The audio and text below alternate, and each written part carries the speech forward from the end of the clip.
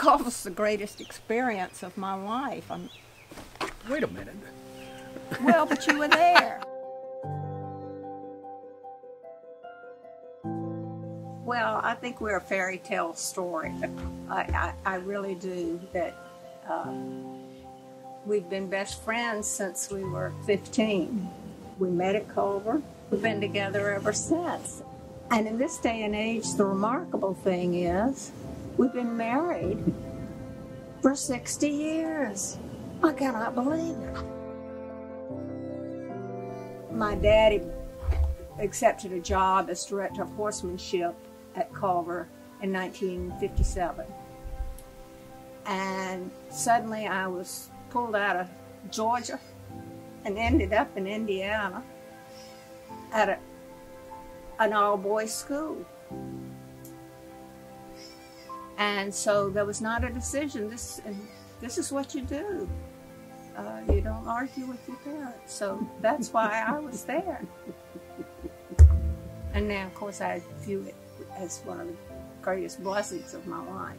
Now, your story's different. Uh, yeah, slightly. Um, living down the street from us, from my parents uh, in Maryland, just outside of Washington, I had a girlfriend. And her father had gone to Culver. And one day he mentioned that, you know, I think you would be, you would enjoy Culver. I don't know whether he was trying to get rid of me or uh, whatever, but uh, I told my dad, and he said, well, okay, well, let's go out and visit. And we went out and visited, and lo and behold, General Spivey was the superintendent. And they knew each other. Didn't know prior to us going out there that he was there, so we're. But they had known each other in the Pentagon, I guess, in the uh, Second World War. So it became an old time visit for them. I just sat there and listened. And somehow I got in and, and loved it. You know, that, that those years, your first year, your whole year was a plebe year. And uh, we managed to have a lot of fun, drive the upper, upperclassmen nuts, and they got retaliation on us, but uh, it was fun. I, I, I thoroughly enjoyed three years of Culver, and I found a soulmate. So, That's true. what what more? what more can I say? I, between us, I can't really just speak to the girls because my experience was so totally different than the girls today. Um, but I can speak to the student body as a whole. Um, this is your time. It may, it may uh, you may think, I don't want to do this, I don't want to be here. But I promise you, this is your time. Soak it up. Uh, make the friends. Go through the experiences, even the discipline. But you will come out a stronger uh, person, able to do whatever you want with your life.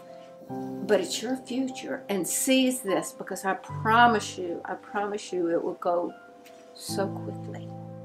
It'll be gone. And when you're 40 years old, you'll look back and say, oh, yeah, I learned that at Culver. Yeah, we give to numerous charities, schools, and in many cases, it's for faculty support, for furthering education, for their continuing education, uh, because that is the backbone. That is the the piece that that everything comes together around. If your faculty is not good, it's tough to have a good school. I think the reason we give back, one, we're obviously both graduates, and I feel, I won't speak for my wife, but I feel that I owe a debt back to Culver for what they gave me. At the time, I didn't realize it, uh, just absolutely, you know, clueless. Um, and I just feel that, that uh, continuing that kind of, of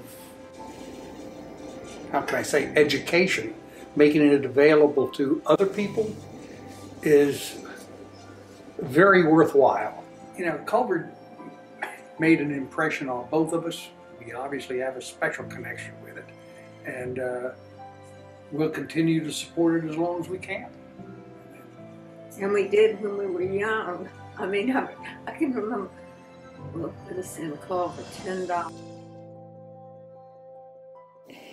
When I look at people uh, that have been in in our day it was Culver Man of the Year sort of thing and and the wonderful things and the wonderful I enjoy my alumni magazine so much and the, as I read about people and I think oh my gosh and even even girls that fellow co-eds I think oh look at the brilliant things these these women have done and why us why us but then I realized you know there are a whole lot of people at Culver that are just like us.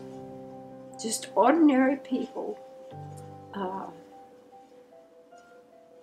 trying to make the most of what's been given us. Honey, you're anything but ordinary. Well, that's true.